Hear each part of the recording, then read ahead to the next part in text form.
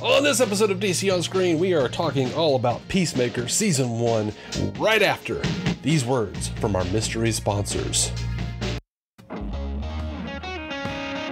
Welcome into DC On Screen, the podcast that talks about the DC multiverse on film and television and believes that DC is many things with many tones.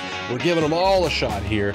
If it's been released, it is fair game, so beware of spoilers. Welcome to the show. I'm David C. Robertson. This is Jason Goss. We're talking about Peacemaker. It's so good. Ah, it's so good.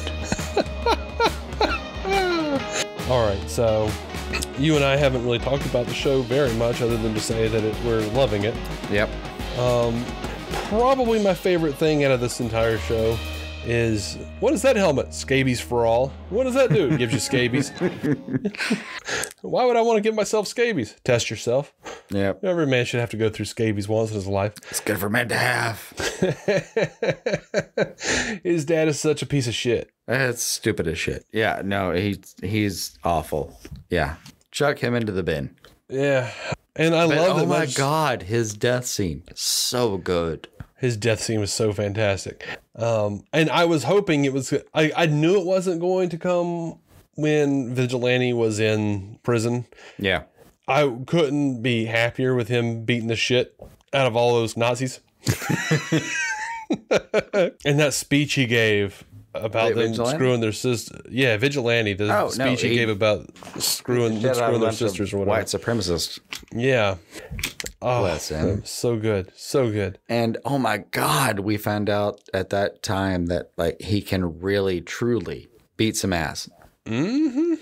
And through the series, we find dude can beat some ass. By the way, uh, P- uh, James Gunn. the unrecoverable. But oh my James god. James Gunn did uh, he did clarify and say that uh, Vigilante's visor is prescription. That makes sense. So whenever he takes them off, he puts on his glasses. Is yeah, he's got a prescription visor. That makes sense. Um, I yeah, I loved Vigilante from the get from the get go. I loved him even more when he just kind of calmly takes over for Peacemaker and just like levels that family, just like do do do do do, like humming and Let's- let me get this for you. pop pop pop. It's cool. Um, he's so awkward. Uh, he invited his freaking coworker to his abortion. Just, oh my god, it's just so good. He's delightful. Um, but you know, Gunn had said, and we talked about it on the show. Gunn had said that he hoped everyone watched the intro every week because it gets deeper and more sad as it goes. I kind Even though of it's the same intro. And I'm also dancing to it every week. Um, I love that they have dead expressions because they're all like whether they're butterflies or not, Oh yeah. They're- and they mostly are. They mostly are, but whether they are or not, they're all puppets. They're all moving to someone to someone else's hand or strings, um, despite their own sadness. Just man, I loved it, man. I oh my god, just everybody, the way I cannot believe this show got me to care about Peacemaker. You're right. I was so angry with him when he kills Rick. and they even do a callback to it. A couple. Mm-hmm. And one, there was a really specific callback about the fact that when he kills people, James Gunn kills people. Mm-hmm. Like it was not a mistake that there was like a extra beat in the Suicide Squad about the uh, porcelain being in, in his heart. Mm-hmm. That was real. They actually killed the actor. Mm-hmm. That was. they Yeah, had a he's- camera he's set up actually inside of his chest. Um, no, I, I, I love that his dad is in his head. It's Mm-hmm. just like the comics. His he was haunted by his dad in, in the comics as well, uh, by his dad's ghost or whatever. Yeah. Um, I really enjoyed how much they like aggrandized White Wizard as far as the uh, the power goes, mm-hmm. and just uh, the mystery of it. Like, what are we gonna do going forward? He did actually kill this guy, who is the super science guy. I don't know what he's gonna do going forward as far as the uh, helmets go.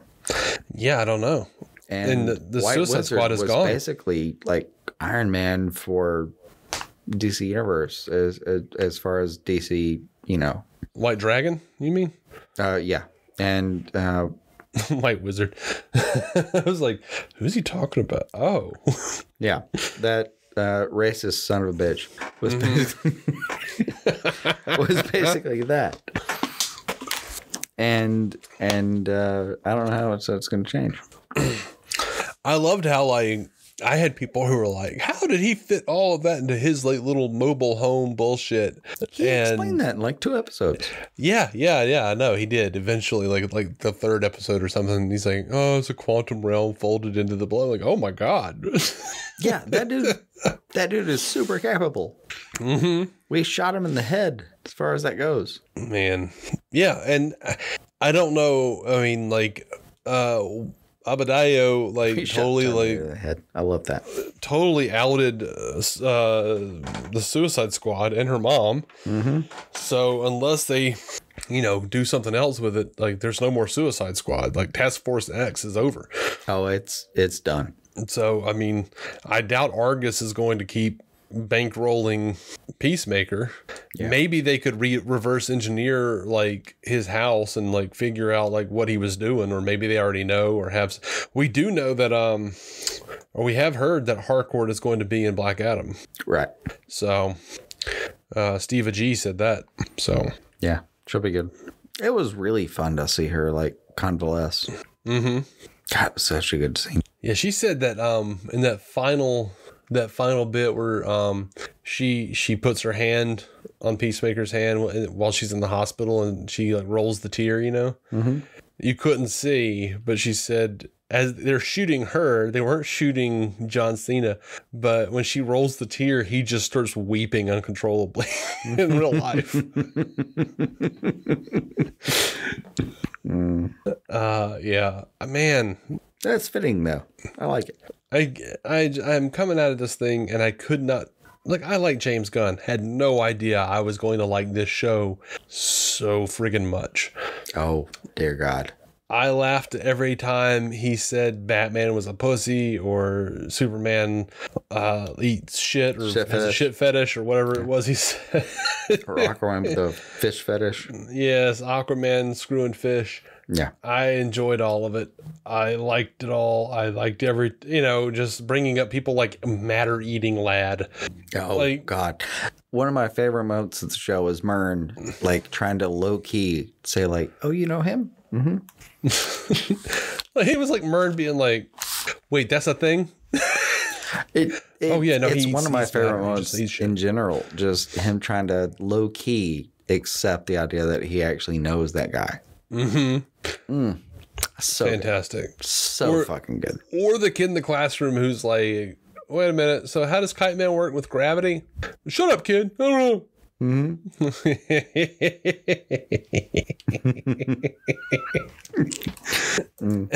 So you mean like if if gravity had just taken place and he was just gonna fall, that would have just Mm-hmm. taken place anyway, right? Okay.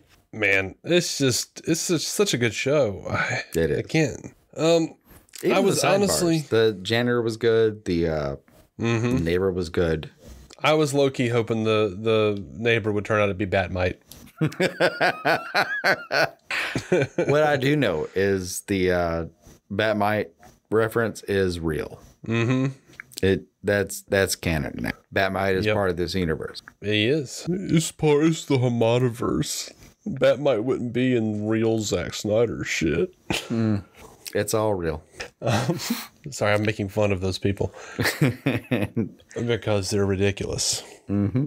No, it makes perfect sense for there to be aliens and Greek goddesses and guys dressing up like bats, but it's dark and gritty, so it's realistic. How dare they bring Bat-Mite into this and sully the realism of the entire experience?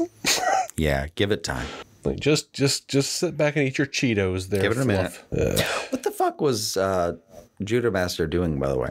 Crying and eating Cheetos. I Mostly. like looking at. all- I I don't know if he has a butterfly inside of his head or if he's just like down for the down for the mission. I couldn't tell either. I don't know what I don't know what to do with him given the series.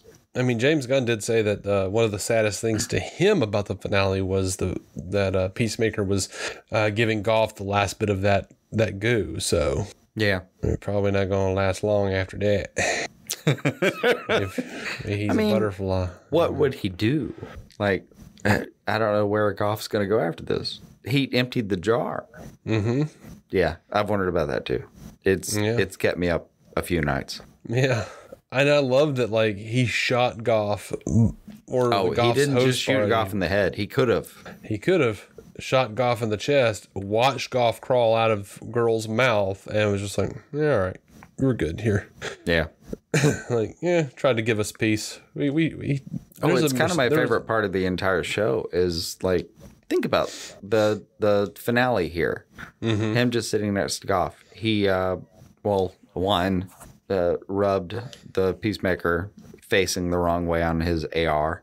And then Mm-hmm. later he's short of that, just sitting next to like an invading species. He did make peace. He actually Mm-hmm. actually did. Yep. Bless his heart. He did.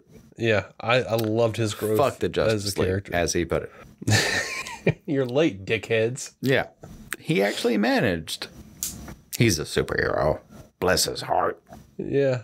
Man, I don't know. I'm very curious about where where this goes as far as like what what what the fuck do you do with a butterfly that is out of food, has those kind of ambitions, but he's keeping him alive. I'm curious for sure. I am curious. Oh man, how much did you love like him having to listen to John Economos like explain why he dyes his beard Oh my god. and realizing that his words like have consequences and stuff. Dear God, watching that actually affect John Cena. Oh my fucking God. And uh what's his name? Oh my God. I should know his name. Steve Agee. Uh oh my God. Fucking great scene. Mm-hmm. Just dear God, good scene. Even all right, so the the end battle scene, as I'll call it, everyone just going in Mm-hmm. was so good. Yes. just even the music from the opening scene being used again and a couple of pitches higher Mm-hmm. and then i think it's that same pitch when they like bring it back down and wind it down Yeah. The pacing was so perfect. I was so ready for that battle. And, like, man, you could ask my wife. I was like, I was on the edge of my seat. I had a big, dumb grin on my face, wide eyed. I was like, oh my God, I can't believe this. Yes, this is so great. Yes. Like, as he's like beheading people with his shield. oh, it's so much oh my fun gosh. vigilante's having a good time Yes. Yes. Yes. that's good stuff um i was a little i was like oh god like Adebayo like using the the the human bullet helmet. Oh that was good. Oh also her going all guntana on the whole thing? Yes. I'm good with that. Yeah the she yeah total gun moments for, for her. Yeah. and she was such a badass i was actually bummed out by the the bullet helmet thing because she's like i'll save you and like just runs into a wall oh i thought she uh, given the show i thought she might have like crippled herself right then oh i was a little concerned I kind of thought that was the where we were heading, but okay. I was good with another another shot at that torpedo. I love it. I love it. Economos has like that picture of all of them on his desk at Argus headquarters now. Ah, he's good. Like, oh gosh, just so many feels, man. His leg broke me a little bit. Yeah. Yeah, I went back and kind of tried to make sure that made sense, but I guess I guess it kind of does. What what which part were you not sure made sense? I just thought hopping over that fence that he had done a, a second ago didn't make any sense, but I think he just got a little too uh, I don't know, got a little too aggressive and popped his knee. Uh, it looked like he ripped his leg open. Yeah, yeah, there were bones. Yeah. Um, Anyway, I got over all that when he was like sitting by Harcourt's body. Uh huh. Mm-hmm. Oh, and drags the helmet to Adebayo. Adebayo. Man, I, I- it was just so good. I, I don't even, I'm not smart enough to describe all the ways it was good. You know, like That's I fair. loved, I loved that creepy sheriff. Oh God, he was so much fun. His God, his uh, I guess his uh, like stolen takes after the fact. on episode whatever that was. Mm-hmm. Just glorious. He's like laughing by the corpses. Yeah. Or he does this like kind of thing. Oh god damn it. That dude is glorious. They did such a good job with painting the characters deeply and richly on this series. Right. Everybody on the show, you get a real sense of who they are, why they do what they do. You, I mean, you wind up loving that, or I did, that Peacemaker knows his dad is a racist, but doesn't want to believe it completely, even though he knows it. He wants to believe in the um, best part of him, but it's not really there. Is still deeply affected by his dad's shitty opinions of him. Yeah. And oh my god, his thing with his brother. Dear God. and just watching it, I would just like, no, this is his dad's fault. Why would they have like a no a no rules fight between two boys? Oh, dear God. Like, yeah, if you were a peacemaker, of course you think that's your fault. It's not. Yeah, Uh, that part hurts a lot. It's glorious. It's it's a really good background for a good character. yeah, such a solid, solid setup, man, for for his character. Yeah. I enjoyed And the I- of that. I was very concerned they were going to kill Adebayo or kill her her wife. You know, Oh yeah. That they're fine. They're actually one of the most redeeming parts of that. yeah, I was very concerned. Mm-hmm. But uh, man, Oh, I thought they were definitely gonna kill her like at the very end, of course. mm-hmm. I was like, don't do it, man, don't do it, please don't But- do it. That is her mom after all. Like she'd have to explain that. And dear God, in season two, I think we're gonna have to explain that. Mm, that's gonna be a whole thing. Explain what exactly. How she's not dead. Both Oh. of them.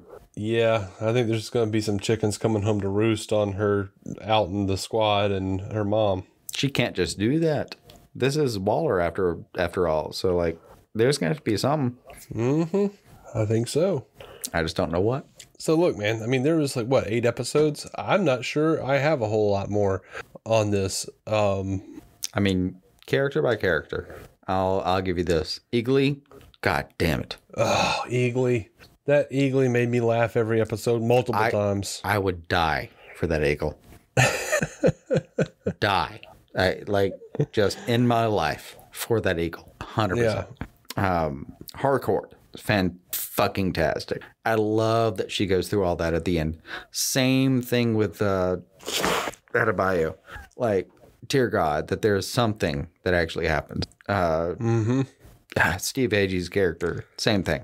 Like, there's so much progression for all these characters. And then you have Vigilante, who, as James Gunn put it, uh, is the only character who doesn't actually show any growth. I love that bit where he was like, "I don't feel emotions like normal people do." One of, one of my favorite parts of him was in the the big scene where he he actually finally gets shot. Oh darn it! And he just still throws a knife into that motherfucker's face. yeah. That's so good. His biggest concern about getting hurt the entire time is like, if I lose my pinky, I won't be able to walk. Yeah, no, Yeah, you And- will. He finally gets to the hospital. And, oh, I'm good. I just fall down, dude. He's fine. And then he just nopes off out of the window, like two or three stories out of the way after he's actually finally well. Mm-hmm. Like he, look, he may be some fuck off character who has no social restrictions whatsoever, but that motherfucker might actually be one of the most uh, badass motherfuckers in the DC universe. Yeah. Agreed. he's, pretty badass. I don't know. I like him. I like him a lot. He's he's really funny. He's kind of pathetic and lonely, and uh, but also seems to be kind of a sociopath. Yeah. Oh, that that moment when he gets in the oh god, when he gets released and gets in the car with uh Harcourt and and finally says like I think I made I made it worse. Oh, dear Just god. starts breaking down, dude. Yeah, the emotion there. Mm, so good. Yeah. Don't don't don't think he's an absolute sociopath. He actually has emotions. Even then, before that, in the episode where he just tells that guy like, "You're a bad dad." Mm. And by the way, before that, when he just beats the fuck out of a couple white supremacists. Oh, also good. Yeah, I mean he's definitely got emotions. He's just a little off with them. He is. He is. I thought that chimp was his best friend. Yeah. it's a deeply charitable character. We'll call and the one who releases Goff after all, while, after everything that happens. Yep, big fan of the show. I'd like to watch it again. Uh, in fact, and uh, everybody was just so good on the show. The uh, the I can't remember her name. The Asian cop who's like, "Oh, what Lucy Liu because I'm Asian." Okay, oh, and she God. starts calling, and then she's like, oh, she keeps keep calling them him white guys. white guy names, and she's like, "I'm running out of white Matt guys." Damon, whatever. I've run out of white dudes.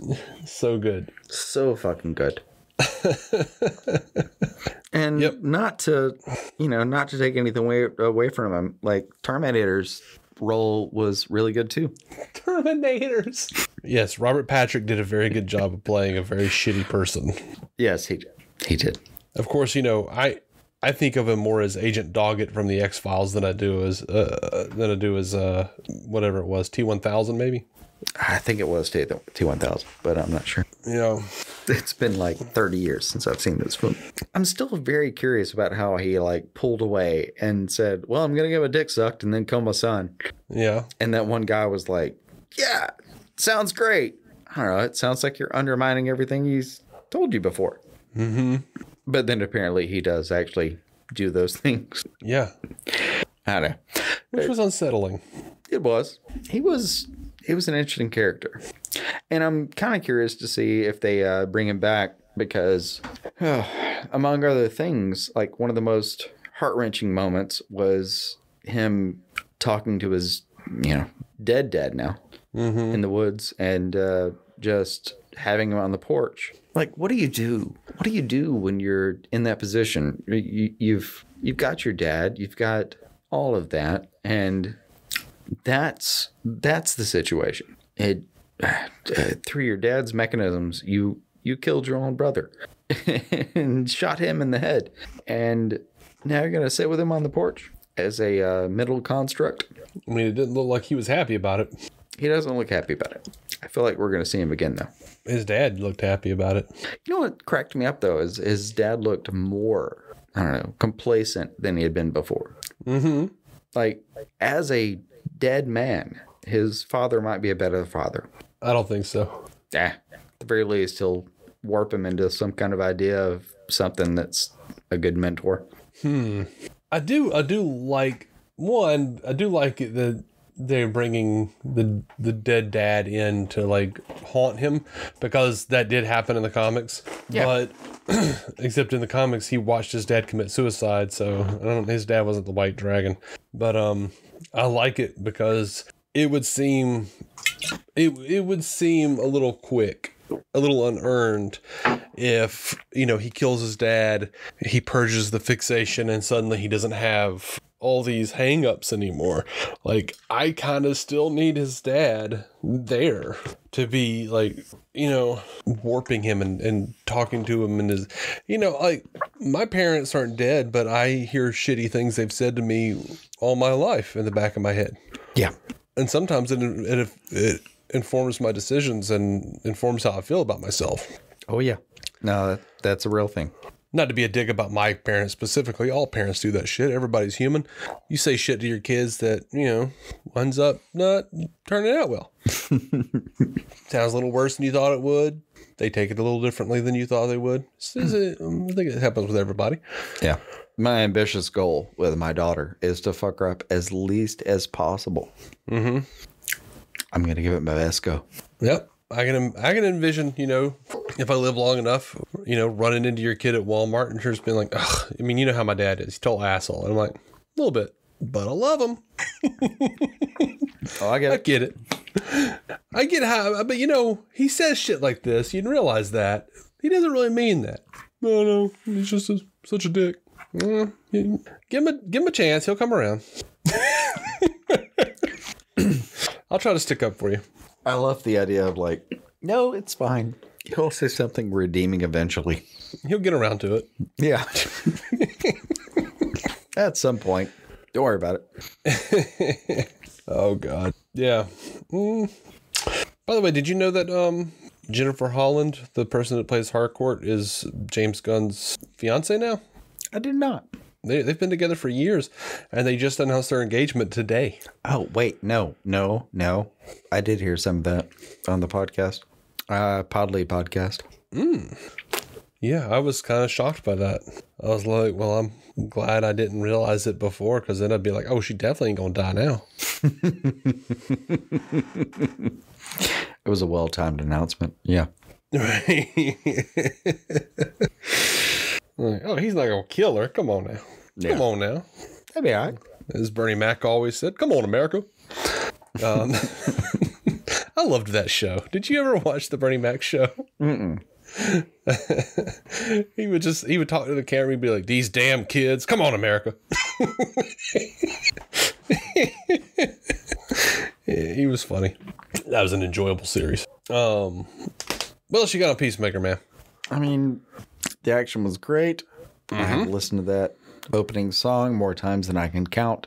I have been, yeah, I've been uh, introduced to several things I didn't, I didn't know about that I now know about. Several bands. Me too. And um, uh, dear God, a lot of my, a lot of my 80s holdbacks have stood true. Mm-hmm. It's mostly been the 11th Street Kids and uh, and that song, which isn't really an 80s song, that have uh, actually gotten into my playlist. That was the name of the song. What was the name of the band? Hanoi Can't Rocks. remember now. That's right, Hanoi Rocks. That's right. yeah, that's a fantastic song. It actually is. Yeah, like a lot of the stuff is like 2001 and shit. Yeah. I think Wig Wam is from 2001, Yep. Which I didn't even like. I'd heard their name, but I didn't. I didn't really listen to it. So Oh, I'd never heard Chip. Cracks me up. I it in retrospect, it reminded me of like Buckcherry or something that was trying to be like 80s metal while we were listening to, you know, TRL. Mm-hmm. Seeing where Britney was.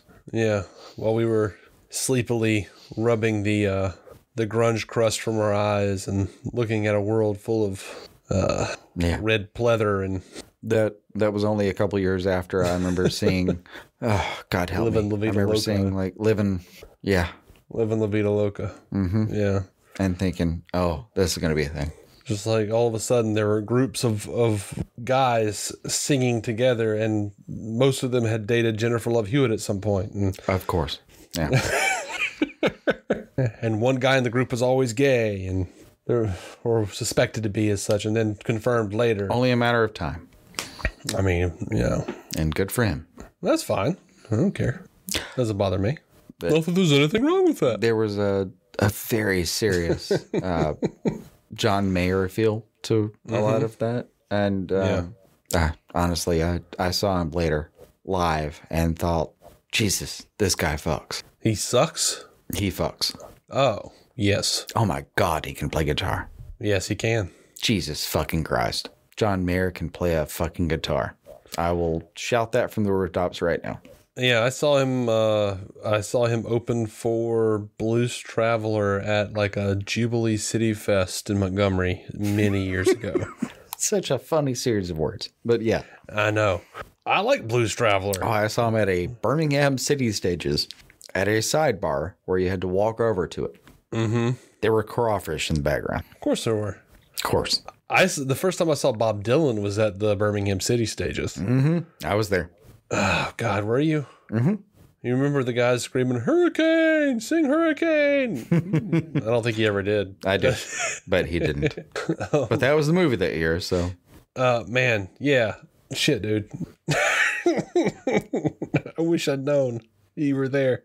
oh, uh, before him was Jamiroquai. Oh God, yeah. It was it was a really pleasant time in in Birmingham's you know history of actual guests. Yeah. Uh, I forgot about Jamiroquai. Mm-hmm.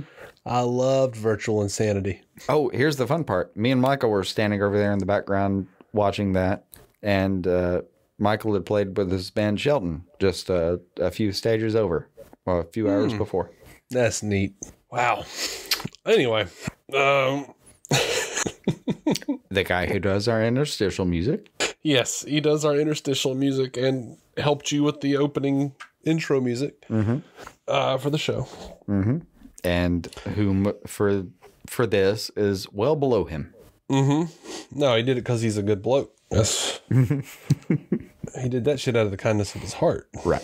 But yeah, uh, I if I had time, I would rewatch all of Peacemaker right now, like beginning to end. Yeah. Yeah. I do not have time because I got to catch up with some CW shit. I don't either. But I've watched a couple scenes over and over again, mm-hmm. including the last episode, of course. Mm-hmm. Oh my god. Oh my fucking god. So good. Do you want to punch that one tooth on the cow? No, I felt bad for the cow. Really? Yeah, kind of did. Yeah. It is kind of an innocent. He looks so sad. He was like. It does. And the the let the thing was shocking them. You know, the things, the little rings. That's I fair. felt really, I felt really bad for the cow. That's fair. I don't know what it is about that one tooth. Kind of wanted to punch him. I mean, the one tooth kind of reminds me of a woman I used to work with because she only had like one tooth. I mean, She also, well, she was in a similar shape that the cow was, ah, and uh, was really hateful and crazy. It would scream obscenities for no reason at all at all of us. So uh, I mean, I've done that too, but I overcame that and still felt bad about the cow.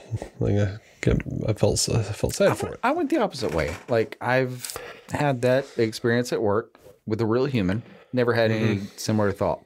That cow on Peacemaker, on Peacemaker, for some reason wanted to punch it. Hmm. I think that speaks to uh, a violence within you. Possibly. a darkness that maybe you need to address. Yeah. I'm not proud of this. Do you have you have a therapist, right? Mm-hmm. You need to discuss that with them. Well, actually, no. I'm between. Oh, We're you need to lined find one, and you need to say, "Look, I saw a CGI creature, and because it had a tooth, even though the creature was enslaved." Uh, even though it just because it had one pointy tooth, I wanted to punch it, and I think I have a problem. Right.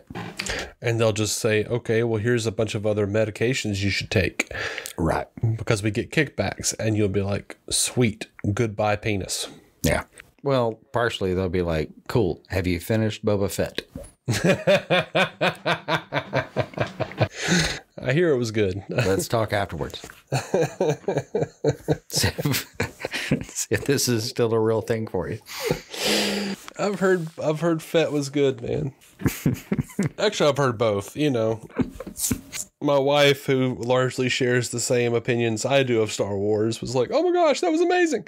And then, like, I got on Twitter and saw a couple people being like, "That was bullshit. That was meh. That, there was nothing about that. It was Star Wars." And I was just like, "Hmm, I'm inclined to believe my wife over you guys. You guys are just miserable." you should be. And she is also that perfectly competent. Yeah, yeah, I would I'd go that way too. Like my wife was like texting me because I was out. She was texting me as she was watching the last episode of Boba Fett and was just like going, "Oh my gosh, oh my gosh, dude, oh my gosh, I'm not gonna tell you because you need to watch this, but oh my gosh." and then to like go like hop over to Twitter and just to see like this rash of entitled whiny pieces of shit complaining about this thing. I'm like, okay, Like, this all sounds familiar. Yeah. I'll believe the person who seemed to enjoy it. Nope. I trust her there. Yeah, and you know she's been rewatching because they're doing the Obi Wan series, so she's been rewatching the the original prequel trilogy, mm. or the prequel trilogy, not the original anything, but the prequel trilogy, and she was like, just like the the Phantom Menace is so boring. Yeah. There's so much political talk. And I'm like, yes, that's how I remember it as well. Bidet to you. Do you remember that bidet to you from Scrubs? Oh, I don't.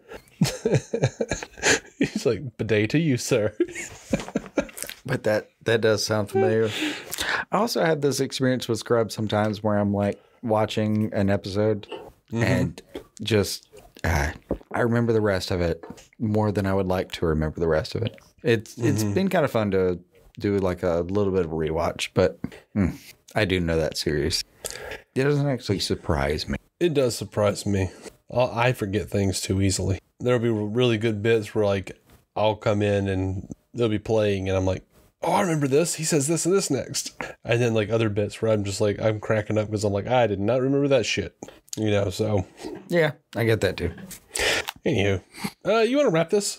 Sure. You want to? Okay. Because I don't really know what to say about Peacemaker other than just like I love the whole thing unequivocally and uh, I think it was a masterpiece. I'm glad it's part of the cinematic universe. And uh, Yeah. I want to see Bat-Mite. um, on the Podly podcast, he insisted that that was that was that was real now. Bat-Mite is a part of this universe. Yeah, it should be. Also good. By the way, you guys don't don't believe every person on the internet because like I saw people who were posting screenshots where they had like lightened it up and it was it wasn't Superman, it was Supergirl because there you could see a skirt and um I mean the the, the double was dressed as Superman. The double who posted on Instagram was a dude and he was dressed as Superman. The person who posted the thing about the being Supergirl was trying very hard to convince us that this was supposed to be post the Flash where they've erased Batman, Superman, and Cyborg and Supergirl from the Flash is there. So, even though she doesn't wear a skirt in the Flash movie. Yeah. So, just I've already seen way too many people believing that and saying it was, you know, absolute proof of they're erasing the Snyderverse. We don't know what they're No. doing, man. We have no idea what they're doing. Yeah. Even that. Uh, Gunn said it was really hard to arrange that, but mostly just a lot of fun for the two people who you actually saw take lines. Mm-hmm. It's still so much fucking fun to actually to actually like see that live. Mm-hmm. I did get to catch that with no spoilers, and oh my god, that was fun. Yeah, I did too. It was so funny, like so funny to see like the amount of people who felt like that was basically the same kind of humor as Whedon's humor in Justice League. And I was like, eh, no, because like the humor in Justice League was at the expense of the characters, at the it was like at the expense of the actual characters. Like the the joke about Aquaman screwing a fish is not a real joke at the expense of him. It's a joke at the expense of Peacemaker because he believes everything he reads online. Yeah, and even Barry playing with it is just kind of a uh, him playing with that thing. Yeah, and yeah, Barry chuckling and saying some shit, you know, and there. I don't know. I there's there's a, a tendency among many Snyder fans who uh, the, to uh, say, "Oh well, this is this is you know this is just like Joss humor because it's dirty." No, it, does does it feel more like something is definitely bleeding, or does it feel more like Zack Snyder posting a picture of Batman eating Catwoman's pussy? In support of the Harley Quinn animated series, which one does it really feel more like? Honestly, I kind of I, mm, I like both. It wasn't a terrible joke to begin with, and the second one was fantastic. I just, you know, man, I like humor. And I like dirty humor. I like dick jokes. I like pussy jokes. Mm-hmm. Um, I like weird sexual jokes, which James Gunn does really well. That whole, the whole bit, the whole, the whole bit about Aquaman paying some dude to have sex with a sturgeon Right? is funny as shit and weird. Um, Yeah. just like and also i'm pretty sure peacemaker in that regard you know believing everything he reads on the internet kind of is my dad. And he's just like they said it. Who said it? The news. Who's the news? Well i read it on facebook. Dad that's not the news. No, but I searched for it, and then he pulls up Facebook and searches. yeah it's like dad that's not the news buddy yeah it says right here superman uh has a poop fetish Yeah, it's right there. this guy uh alex jones said it Yeah, he looks like a reporter type look at him Hmm. Reputable. that filler. Anyway, you good? You want to talk about anything else? Yeah, I think I'm good. All right. If you haven't So much. loved it, uh, if you haven't seen Peacemaker, go and check it out. And uh, you know, I was I saw James Gunn saying that he was going to have to change the opening next year because most of the people in the opening are dead. Oh yeah, that's a real thing. Uh huh. A lot of butterflies. that. That's that's a good point. That's a good point. I'm kind of sad because my daughter and I love that song, but it'll be all right. Look, he got us this far. I'm just gonna roll with him. I trust it. I trust it. Mm-hmm. Anyway, thank you guys so much for listening. Uh, we're gonna try to get either one of us or both of us will try to get some uh, TV reviews out. You're so behind on CW. I don't know what what could be done, but uh, Most stuff, but you know, there's parts. Stargirl, for instance, I'm um, I'm done with.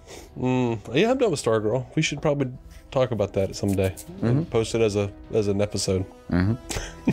My favorite episode, or my favorite character, ended up being Shade. Oh, he was fantastic. Wasn't he great? He was fantastic.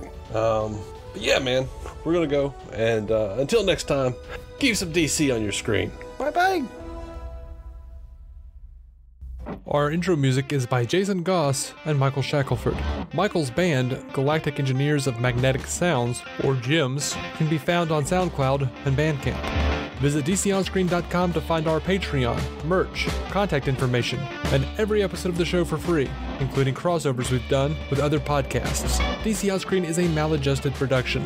For more from me and Jason, including sketch comedy, vlogs, parodies, and our improvised web series Hey Guy, visit maladjusted.tv.